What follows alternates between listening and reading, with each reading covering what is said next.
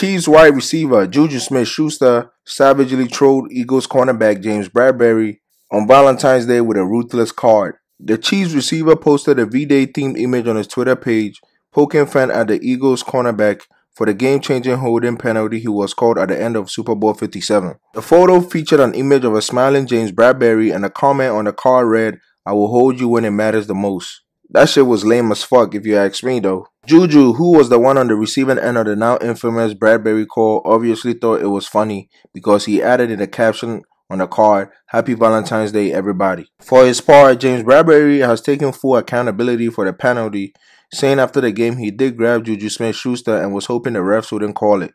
I mean, I pulled the jersey, you know, they called holding. I was hoping they would let it ride, you know, but was holding. I, I, was hoping he would let it go, but of course, you know, he's a ref. This is a big game, um, and it was it was a hold, so they called it. After posting that lame photo, NFL Twitter, especially Eagles players, came to Bradberry's defense. These are some of the replies. AJ Brown tweeted, First off, congratulations. Y'all deserve it. This is lame. You was on the way out the league before Mahomes resurrected your career on your one year deal TikTok boy.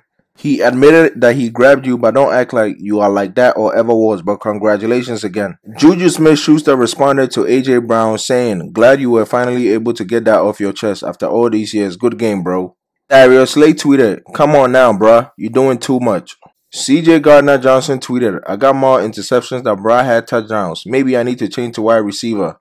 Damn. CJ Gardner Johnson also tweeted, Juju talked a lot for a guy who ain't productive for real for real. A B made you look amazing. After that, you've been toilet water. Damn. Micah Parsons also tweeted about the situation saying, Damn, social media has allowed players' social media skills to be better than their football skills. Hashtag sad.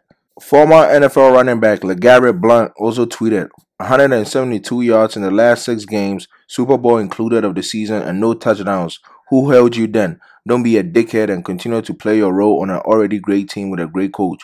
Congrats to my guy, Travis Kelce, and the future of the NFL, Patrick Mahomes. Y'all did y'all thing. Okay. Juju got cooked, but let me know what you think in the comments down below.